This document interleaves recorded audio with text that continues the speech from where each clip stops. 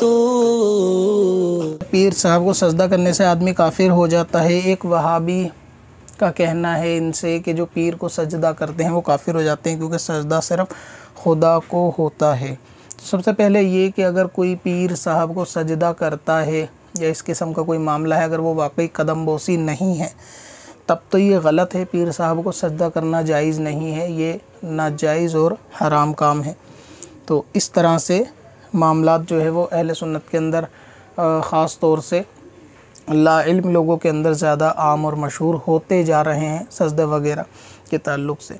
अब रहा आदमी के काफिर होने ना होने से तो हर सजदे से आदमी काफिर नहीं होता। अगर पीर साहब को कोई सजदा करता भी है तो वो ताज़ीमी सजदा ही करता है, जो कि हराम है।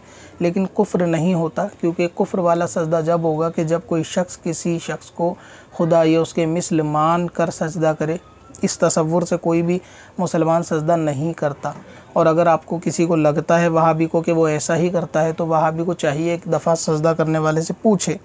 क्या वो इसको खुदा मानकर, अपने पीर साहब को खुदा मानकर सजदा करता? अगर वो कहता है कि हाँ तब तो वो काफिर है, वरना ये कि बेकार की बदगुमानी है।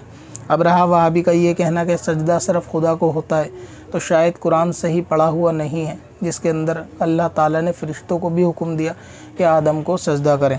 अब ज़ाहिर है कि हर सजदा अगर कुफ्र लाजिम लाता तो क्या अल्लाह ताला ख़ुद शिरक का हुक्म दे सकता है? ज़ाहिर इस आयत से तो यही लाजिम आ रहा है कि अल्लाह ताला ने भी फ़रिश्तों को शिरक करने का हुक्म दिया। तो जब अल्लाह ने हुक्म दिया कि आदम को सजदा करो, सबने किया सिवाय इबलीस के तो ये तो इतना मशहूर है कि बच्चे बच्चे को भी मालूम है कि हाँ ये वाक़ हुआ था। तो क्या अल्लाह ताला ने शिरक का हुक्म दिया? अगर वो शिरक नहीं था, अल्लाह ताला भी क्योंकि कुफर और शिरक का हुक्म नहीं देता, अगर वो शिरक नहीं था तो इसका मतलब वो रेस्पेक्ट वाला सजदा था कि आप उनकी रेस्पेक्ट करें, उनको सम्मान दें, वो सजदा। हालाँकि इस शरीयत में ये भी जायज़ नहीं है, ठीक है? वो उस वक्त था, अल्लाह ताला ने हुक्म दिया, लेकिन अब हमें फ़ॉलो करना है।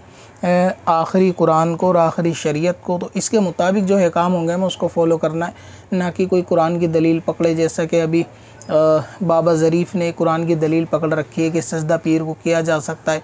अल्लाह ने कुरान में हुक्म दिया। तो उस जाहिल से भी बचना चाहिए इस तरीके के पीरों से भी। और दूसरा ये कि हर सजदा कुफ्र नहीं होता। ये कुरान पाक से साबित है कि सजदा कुफ्र के अलावा शिर के अलावा भी होता है। तो पीर साहब को सजदा करने से आदमी काफिर नहीं होगा, लेकिन ये गुनाहगार ज़रूर है। इसको सच्ची तौबा करनी चाहिए, ये सजदा भी करना जायज़ नहीं है। और ऐसे पीर साहब के जो सजदा करवाते हों, या इस बात पे एग्री हों, राज़ी हों, या वहाँ ऐसा माहौल हो तो उनसे मुरीद भी नहीं होना चाहिए। कब से अपनी खताओं का शुमारा जाएगा?